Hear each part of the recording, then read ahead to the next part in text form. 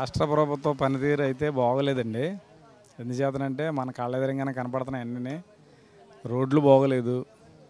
ట్యాక్సులు ఇన్సూరెన్సులు విపరీతంగా పెలిచారు వాహనాలకి. టోల్ ప్లాజా రేట్లు పెంచారు. ఏ పెంచినా కానీ నిత్యావసర వస్తువుల ధరలు పెంచారు. ఆర్టీసీ ఛార్జీలు పెంచారు. ఇంటి పన్నులు పెంచారు. ప్రతిదీ ప్రజల మీద వేసే ప్రతి భారము పెంచారు. కానీ ప్రజల స్థితిగతులు మాత్రం చాలా దుర్భరమైన పరిస్థితిలో ఉంది మన ఆంధ్రప్రదేశ్లో. అది ఎందుకంటే గత రెండు వేల పంతొమ్మిది కంటే ముందు ఇదే చంద జగన్మోహన్ రెడ్డి గారు ప్రత్యేక హోదా నేను తీసుకొస్తాను ఇరవై ఎంపీలు ఇవ్వండి నేను తీసుకొస్తాను సెంట్రల్ గవర్నమెంట్ ఎవరుంటే వాళ్ళని మెల్ల ఒంగదీసి మరీ తీసుకొస్తాను హోదా అని చెప్పాడు. ఈ రోజుకి మూడున్నర సంవత్సరాలు దాటి నాలుగో సంవత్సరంలోకి అడుగు పెడుతున్నా ఇవాళకే హోదా అడిగిన దిక్కు దివానం లేకుండా పోయింది ఇవాళ మన పరిస్థితి. అది కాకుండా నీటి తీరుబా ఉంది మనకి. ప్రాజెక్టులు. ఎక్కడ ప్రాజెక్టులు అక్కడే ఉన్నాయి. తెలంగాణలో పక్క నుంచి పోలవరం ప్రాజెక్టుకి అడ్డం పెట్టారు. అలాగే కర్ణాటక వాళ్ళు అడ్డం పెట్టారు.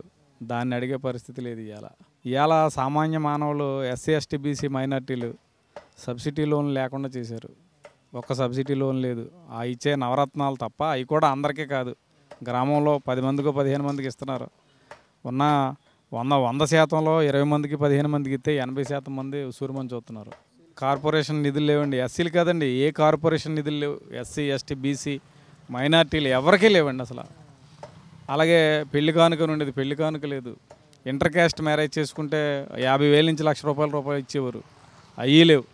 ఇవాళ మన రాష్ట్రం పరిస్థితి ఎలా ఉన్నదంటే పనులు భారం ఎక్కువేసినా కానీ ప్రజల మీద ఆ భారం కట్టించుకుంటున్నా చెవులు పిండి మరి ముక్కులు పిండి కట్టించుకుంటున్నా కానీ ప్రజలకే స్థితిగతులు మాత్రం చాలా దుర్భరమైన పరిస్థితిలో ఉంది రాబోయే రోజుల్లో మరి ఈ ప్రజలు ఏదైతే నూట యాభై రెండు మంది ఎమ్మెల్యేలు ఇచ్చారో అదే నూట యాభై రెండు మంది ఎమ్మెల్యేలు రేపు ఇరవై నాలుగు తర్వాత అవి తొమ్మిది అవ్వచ్చు ఆరు అవ్వచ్చు ఏడు అవ్వచ్చు. కానీ నూట యాభై ఏడు మంది ఎందుకు గెలవకూడదని చెప్పిన హోందాతనంగా మాట్లాడుతున్నారు ఈ ముఖ్యమంత్రి గారు. కానీ ఒక్కసారి ప్రజల స్థితిగతుల్లోకి వెళ్ళి ఒక్కసారి మీరు పాదయాత్ర సంవత్సరన్నరం చేశారు. ఈరోజు ప్రజల్లోకి రండి దేరాలు కట్టుకోకుండా ప్రజల్లోకి రండి. ప్రజలే మీకు సరైన బుద్ధి చెప్తారని చెప్పని నేను సభాముఖంగా మీకు తెలియజేస్తున్నాను మీడియా ద్వారాగా.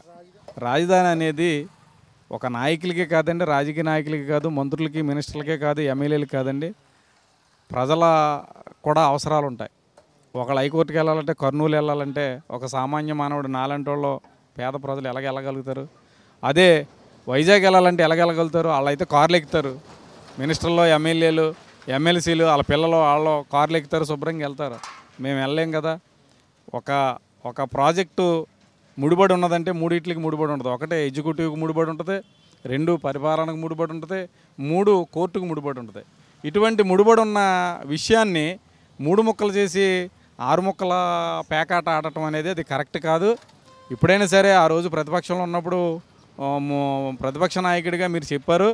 నాకు ముప్పై మూడు వేల ఎకరాలు ఉన్నది కాబట్టి ఇక్కడే మన రాజధాని ఉండాలని మీరు చెప్పారు ఆ రోజు. అదే మాట మీద ఈరోజు నిలబడి రాజధాని రైతులకు కానీ ఆ చుట్టుపక్కల ఉన్న ప్రాంతాలు కానీ అభివృద్ధి చేయడానికి మీరు ముందడిగేస్తే రేపు ఇరవై నాలుగు ఎలక్షన్లో ఇంకా కొన్ని సీట్లైనా మీరు గెలుచుకోగలుగుతారు మేము చెప్పిన ఇంకంటే లేదంటే కనుక మీరు మరలా ప్రజలందరూ ఇంటికి సాగనంపడం ఖాయమని చెప్పని జనసేన టీడీపీ బీజేపీ కూడా కలుస్తుందండి. దాంట్లో సందేహం లేదు. మూడు పార్టీలు కూడా కలిసి ఈ నరకాసుర పాలననే అంతమొందించడానికి ప్రజలందరూ సిద్ధంగా ఉన్నారు. కానీ బయటికి ఎవరు వస్తే వాళ్ళని కేసులు పెట్టి ఇబ్బంది పెడుతున్నారని చెప్పి బయటికి రావడానికి జడుస్తున్నారు. కానీ కొంతమంది నాలాంటి వాళ్ళు జడవకుండా బయటకు వచ్చి రోడ్డు మీద నిరేదిగా తిరగటానికి కూడా మాలాంటి వాళ్ళకి ఆ- అంబేద్కర్ బాహా బాబాసాహెబ్ అంబేద్కర్ రాసిన ఆ రాజ్యాంగం మాకు కల్పించిన హక్కులను సాధించుకునే విషయంలో మేము కొంతమంది బయటకు వచ్చి అడగటము పోరాటం కూడా జరుగుతుంది.